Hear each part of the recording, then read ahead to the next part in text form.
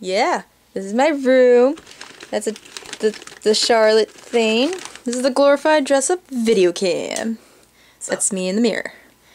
And yes, we really are wearing bonnets, eating chips. Yeah. Um, yeah, you see me in the mirror. Um, I don't know if you could like, yeah. I'm trying to not be in the shot. Um, but yeah, this is honestly what we're doing. This is how we work on cosplay. We we eat spinach dip and chips, and be and wearing our bonnets because our bonnets are really awesome. Anyway, I'm gonna I'm gonna put this camera somewhere. Just say hi, people.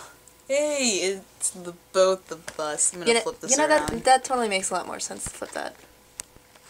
There we go. hey, it is us. Yeah. Hi! And this is a preview of what our costumes are going to be looking like. We got two weeks. 14 days. 14 days. 14 days sounds longer, so we're saying 14 days a lot more. That's my costume up there. Um, that's Zakira's costume on the bed. And that's, like I said, Charlotte, because I'm working on the hat. And my sewing machine with all the other hats and stuff.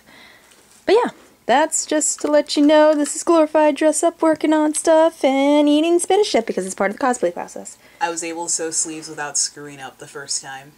And then I she had problems with the bonnet because of that. It, they didn't take too long to fix. Well, I take that back. There's something wrong with it, but I won't tell you what right now. I'm gonna go fix it. Bye! Bye!